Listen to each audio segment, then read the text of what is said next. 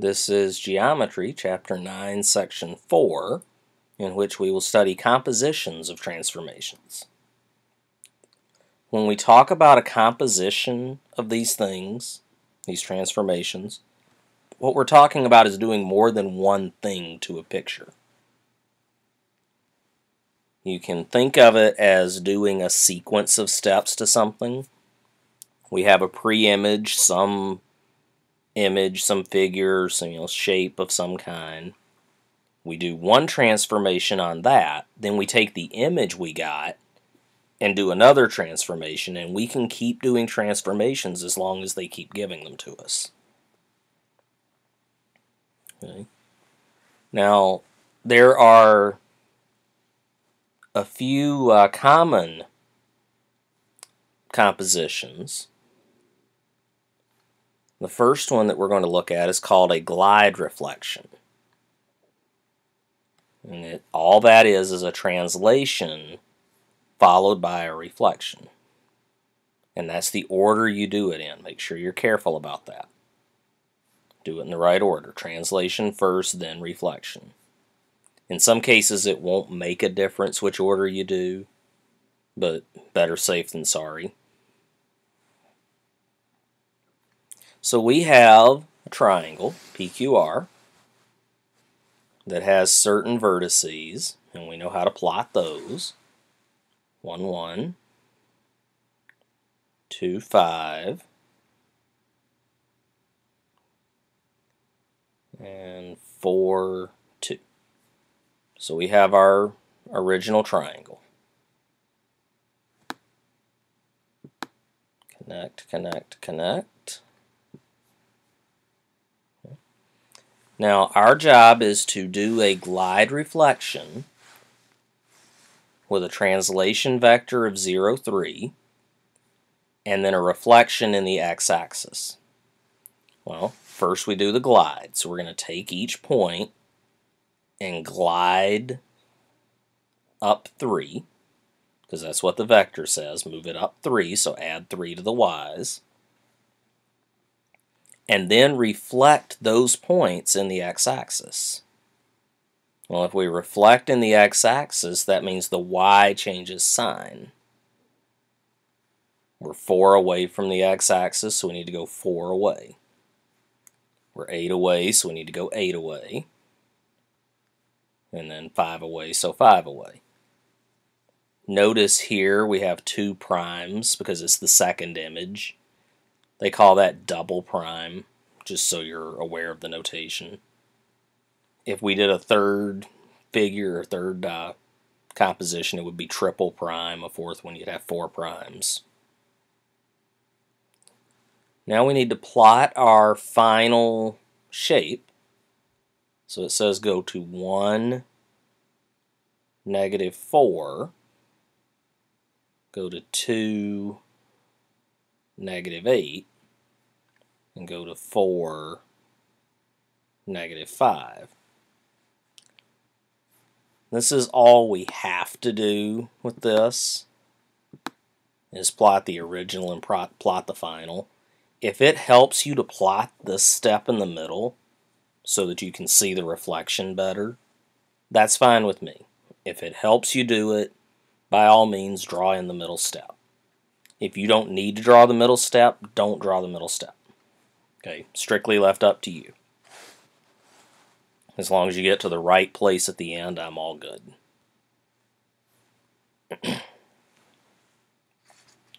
now we have a few theorems to look at here. Relax, don't panic. You're not going to have to prove them. All right, the first one, Theorem 9.1, says that if, if we have a composition of isometries, we have an, still have an isometry. All right, remember back in chapter 4 we talked about isometries are things that keep the size the same. Things like reflections, translations, and rotations maintain the size of whatever shape it is, it just moves it around.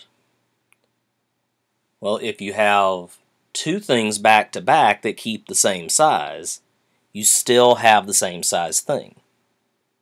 Imagine me taking a chair in the room moving it across the room and then turning it on its side. Okay, the chair is still the same size. Doesn't matter what else I've done to it. I haven't stretched it, I haven't shrunk it, I haven't wadded it up and thrown it out the window. so that's what we're talking about here with isometries. They keep the same size. Our second theorem deals with having multiple reflections and we have two options. We have parallel lines, which we're going to look at on this page, and then we have intersecting lines that we're going to look at on the next page. Okay.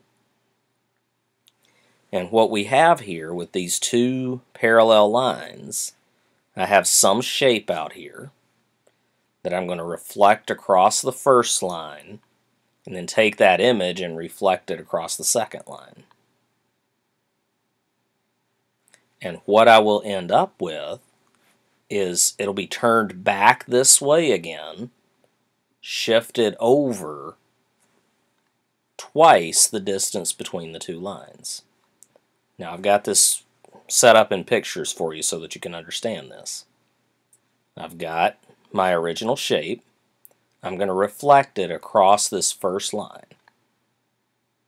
Okay. So it's approximately, it should be exactly, but I probably didn't get it exact the same distance across here, and each point is the same distance away from that center line, that first line. Now I'm going to take this image and reflect it again across the second line. What this theorem tells me is this is now just been shifted over. And how far has it been shifted? Twice the distance that we started with. So if I told you this, these two lines were five feet apart, then these two points that match up are double that. They're 10 feet apart. Okay.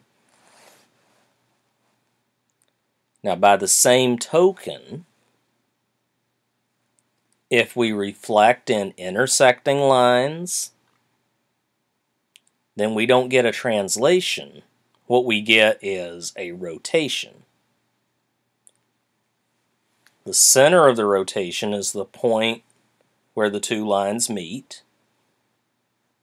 and the angle of the rotation is twice as big as this angle between the two lines. Okay, let's try to reflect that. We have our original pre-image and I'm going to reflect it across this first line. So this point should move to about here. This one moves to here, and so forth. Now I'm going to take the image there and use it to reflect across this. So this point should end up about here. I was off a little bit. This one would end up here, and so forth. Now this is not just translated because it's not facing the same direction. If it was translated, it would be shaped or facing turned this way. What's happened is it's been rotated. And it's been rotated twice as much as this angle. So if this angle were 30 degrees, then this rotation from here to here would be 60. Okay, if I told you this was 80 degrees, then this rotation would be 160 degrees. It'd be double whatever this angle was. Okay. You're going to be drawing things like this. It will help you to draw in the middleman so that you can end up getting to the right final place.